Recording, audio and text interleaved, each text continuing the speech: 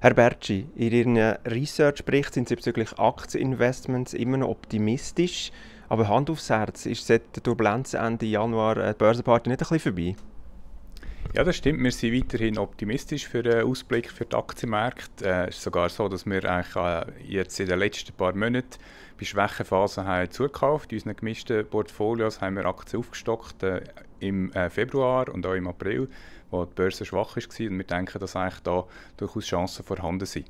Wir sehen, dass die Fundamentaldaten sehr positiv sind. Einerseits die Wirtschaft, wir sehen auch die Unternehmensergebnisse, die gut reinkommen. Zum Beispiel in den USA haben 75 Prozent der Firmen positiv überrascht bei ihren Ergebnissen zum ersten Quartal und das ist ein sehr gutes Zeichen für die Aktienmärkte. Haben gesagt, positive Daten einerseits, aber andererseits haben wir die hohe Volatilität. Äh, wir haben zum Beispiel in der laufenden Woche wieder sehr schlechte Börsentage. Was ist denn momentan so ein Problem mit Aktienmärkten? Ja, ich glaube, Volatilität, das ist etwas, wo wir uns ein bisschen daran gewöhnen müssen. Wir haben allerdings auch in früheren Jahren schon so Fälle gehabt, zum Beispiel, wo der Kim Jong-il das erste Mal hat Raketen abgeschossen, vor ein paar Jahren schon. Dann äh, mit dem Brexit natürlich die Unsicherheit. Jetzt reden wir aktuell über Italien, die Regierungsbildung. Ich glaube, das haben wir immer ein bisschen. Ähm, ich glaube, das wirkliche Problem für die Aktienmärkte ist für eher auf der äh, Inflationsseite zu sehen. Also wenn die Inflation wird, äh, stark ansteigen, also mehr als erwartet aktuell, dann äh, könnte das ein Problem werden für die Aktienmärkte, weil dann Zentralbanken äh, Zinsen müssen stärker anheben als bisher erwartet und das wäre dann doch ein starker Gegenwind. Spielt auch der momentan höhere äh, Rohölpreise eine Rolle bei der Inflation? Ja, das spielt sicher rein in die Inflationserwartungen. Also auch dort, wenn jetzt der Ölpreis vom aktuellen Niveau von 70, 80 Dollar pro Fass würde äh, weiter steigen auf 100 oder mehr, dann würde das sicher auch die Inflationserwartungen anheizen und wäre dann eben auch so ein Problem, das äh, doch auf die Aktienmärkte äh, könnte drücken auf Preise. Was heisst denn das konkret für die Schweizer Börse? Wir haben hier ein relativ negatives Jahr, SMI über minus 6% bisher. Was kann man da bis Ende Jahr noch erwarten vom Schweizer Börse?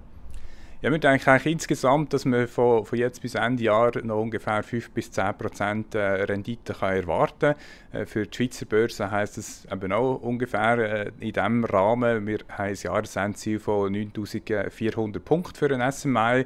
Das wäre eigentlich genau dort, wo wir angefangen haben im Januar. Wir kommen wieder auf den gleichen Punkt zurück. Und jetzt auf Einzeltitel-Ebene, was, was finden Sie da interessant im Schweizer Markt? Ja, es ist sicher so, dass äh, Bewertungen stark gestiegen sind, einzelne Titel. Und von dem her glauben wir, dass eine größere Selektivität gefragt ist. Wir äh, sehen vor allem im, äh, in spä spätzyklischen Sektoren noch, noch Chancen. Äh, das sind zum Beispiel Aktien wie eine Dufry, äh, die in der Reisebranche tätig ist. Ich glaube, die kann profitieren in den nächsten ein paar Quartalen vom äh, steigenden Wachstum, von Konsumausgaben, die zunehmen. Ähm, wir sehen auch Potenzial auf dem, äh, Technologie, äh, dort im Technologiebereich, äh, Aktien wie die AMS, wo äh, jetzt gerade ein bisschen unter Druck kommen von letzt, äh, wegen der enttäuschenden iPhone-Umsatzzahlen. Aber wir glauben, dass dort eigentlich die strukturellen Treiber intakt sind und dass die ein weiteres Potenzial hat. Jetzt gerade in dem sich anbahnenden Zinsanstieg, der früher oder später kommen wird, da redet man ja viel davon, dass äh, Finanzaktien spannend sind. Was ist da Ihre Haltung dazu? Glaube, Finanzaktien, solange der Zyklus weiterläuft, äh, haben sicher noch Potenzial. Ich glaube, im Moment ist es so ein, Problem gewesen, dass eigentlich sehr viele Investoren bereits so positioniert waren, weil man denkt, die Zinsen steigen an, das hilft den Banken.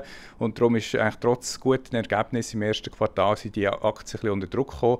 Und wir glauben, dass eigentlich für die nächsten paar Quartale, dass die durchaus äh, überdurchschnittliche Renditen werden abwerfen. Jetzt äh, die Schweizer äh, Bankaktien, zum Beispiel Grossbanken, oder schauen Sie da mehr ins Ausland bei diesem Bereich? Ja, ich glaube, Banken ist sehr ein globaler Sektor. Also die Schweizer Banken sind ja sehr stark im Ausland tätig. Also ich glaube, da gibt es nicht eine grosse Differenzierung, sicher eher eine Differenzierung zwischen den USA und Europa.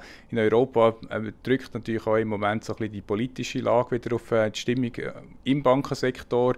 Zudem auch die Zinsen, die eben eher noch länger tief bleiben. Von dem her, der Fokus wäre eher auf US-Banken, aber auch in Europa denken wir, dass eigentlich noch Potenzial besteht.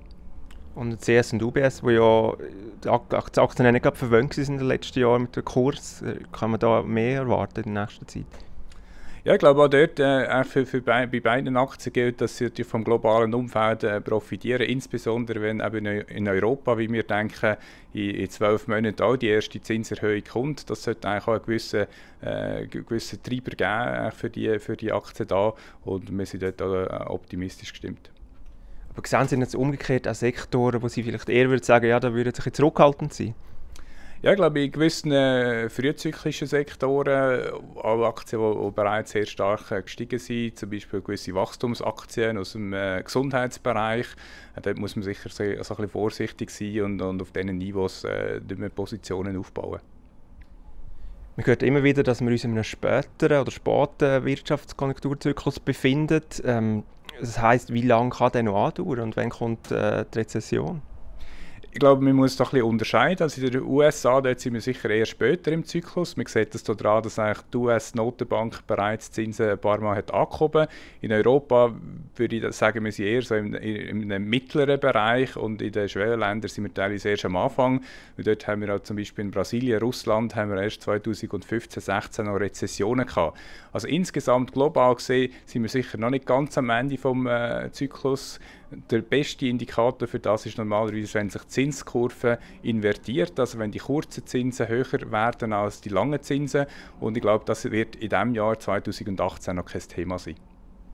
Aber wenn jetzt gerade die USA, die schon weit fortgeschritten ist, äh, würde den Zyklus beenden, würde das nicht die ganze Weltwirtschaft abreißen? Doch, das wäre sicher ein Problem. Also wenn die USA in eine Rezession reinläuft, dann äh, wird das sicher ein äh, Problem für die ganze Welt. Aber wie gesagt, 2018 ist das noch kein Thema. 2019 muss man da sicher äh, ein bisschen mehr äh, vorsichtiger werden, vielleicht sich dann ein bisschen defensiver positionieren. Aber 18 und 19 haben wir eigentlich auch die, die, den Fiskalstimulus in den USA, also die, äh, Taxe, äh, die, die Steuerreform, die ja dort eigentlich auch einen Boost bringt fürs Wachstum und das sollte sich eigentlich in den nächsten zwei Jahren noch positiv auswirken.